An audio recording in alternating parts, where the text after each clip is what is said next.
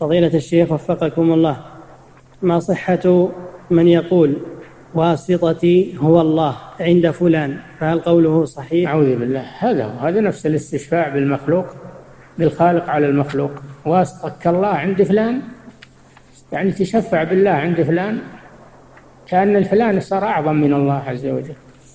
هذا نفس الحديث الذي استنكره أو لفظ الأعرابي الذي استنكره النبي صلى الله عليه وسلم. نعم.